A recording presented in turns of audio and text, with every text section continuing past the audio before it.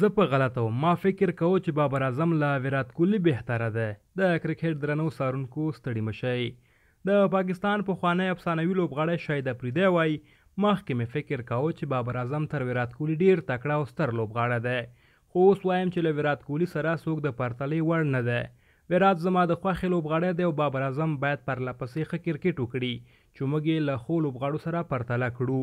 د پاکستان د کرکټ لوبډلې پخوانی لوبغاړی شاهد افریدی دا هر څه تر هغې وروسته وویل چې پاکستان د بنګله دېش پر وړاندې په خپل کور کې ماته شوه او د ټېسټ لوبو لړۍ یې دوه، صفر وبایلله.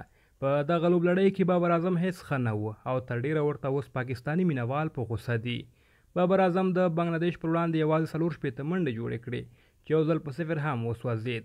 همدارنګه بابر اعظم په وروستیو شپاړس پاڼیو کې کومه پنځوسیزه هم نه ده وهلې چې تر ډېره د نیوکو لاندې ده ځکه بابر اعظم د پاکستان مین بیټر دی په اوس وخت کې خلک بابر اعظم او ویرات کوهلي سره پرتله کوي خو ویرات کوهلي او بابر اعظم یوازې هغه خلک له یو بل سره پرتله کوي چې یا په کرکټ نه پوهیږي او یا ذهني ستونزه ولري د ویرات کوهلي او بابر اعظم ترمنځ اسمان او ځمکه توپیر دی خو ځینې پاکستاني مبصرین هسې ضد نیولي او بابر اعظم له ویرات سره پرتله کوي په دې لړ کې د پاکستان پخوانی نړیوال لوبغاړی باسط علي چې اوس د مخلي لوبغاړو روزونکی دی وایي له کرکټ څخه د خلکو زړه تور شوی دی.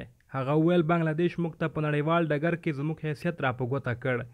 باسط علي چې د پاکستان لپاره په نولس ټېسټ او پنځوس یو ورځنیو نړیوال لوبو کې برخه اخیستې، د کرکټ د مینه والو او شنونکو له دې ارزونې سره موافق دی چې د پاکستان لوبډله په میدان کې د لوبې لپاره اړینه همغږي نه لري. هغه زیاته کړه، په لوبه کې ګټل او بایلل دواړه وي، خو د لوبغاړو دا حالت د اندېښنې وړ دی. دا د خپګان او شرم وړ ده چې ووایو دا د پاکستان ټیم دی. د پاکستان د کرکټ لوبډلې پخوانی لوبغاړی احمد شهزاد بیا وايي، زه نور د خلکو د دې خبرې په اورېدو ستړی یم چې یو څوک بابر اعظم له ویرات کوهلي سره پرتله کوي. ویرات په ټوله نړۍ کې یو ځلېدلی لوبغاړی دی، غوره اننګزونه او رنزونه یې کړي، له بابر اعظم سره د هغه مقایسه کول بې انصافي او غیر مناسب کار دی. بل طرف پخوانی لوبډلمشر جاوید مهنداد بیا وايي، دا ډېره د درد او خپګان وړ ده چې زموږ کرکټ دې مرحلې ته راورسېدو چې له بنګلهدېش په ټېسټ لوبو کې ماتې خورو. بنګله دېش ته باید د دوی د بانظمه لوبو کولو شابسې وویل شي، خو دا چې زموږ توپوهانه په دې لوبلړۍ کې سقوط شوه، دا ډېر بد خبر دی. پخوانی لوبډلمشر انضمام الحق بیا وايي، پخوا په کور دننه لوبلړۍ ته موږ د ښه حالت ته تلو په پار ترسره کولې، خو اوس کې اړتیا ده چې توپوهونکي ورته کارنامې وکړي. بل مخکینی توپوهونکی نسخان بیا وايي، پخوا زموږ توپوهونکو ښه لوبه کوله، اوس وخت کې ذهناً دوی جوړ نه دي، اړتیا ده چې په ذهني توګه دوی جوړ کړل شي. همدارنګه د پاکستان پخوانی ټېسټ سپېنر اقبال قاسم بیا وايي، موږ اوس د سرفراز، نواز، عمران خان، وسیم اکرم، وقار یونس او شعیب اختر په څېر چټک توپ اچوونکي نه لرو. اوس اړتیا ده چې موږ د سپېنرانو پر مټ ټېسټ سیالۍ وګټو، خو اوس د وروستۍ ماتو سره ښکاري داسې چې پاکستان د ټېسټ کرکټ د اتلولۍ جام لوبو فاینل ته د تګ چانس له لاسه ورکړ. د پاکستان مخکېني لوبډلمشر او د کرکټ بورډ مشر رمیز راجا له بنګله دېش په خپل کور د لوبډلۍ دوه صفر بایلل لوی شرم وباله. په خپل یوټیوب کانال کې د خبرو پر وخت رمیز راجا وویل، د پاکستان منډه جوړوونکي تېز بالنګ شارټ پیچ او باونسر نه شي لوبولی. د کرکټ دغه مبصر د پاکستان د لوبډلې په غوراوي هم نیوکې درلودې. ویل نسیم شاه چې سرعت یې ډېر دی په دویمه ټېسټ لوبه کې نه دی لوبول شوی او داسې بالران لوبېږي چې سرعت یې فیصد له یو سل او پنځه ویشت نه نه دی پورته شوی. د پاکستان یو بل مخکینی لوبغاړی سکندر بخت بیا په لوبغاړو د هېواد په کرکټ بورډ نیوکې کړي.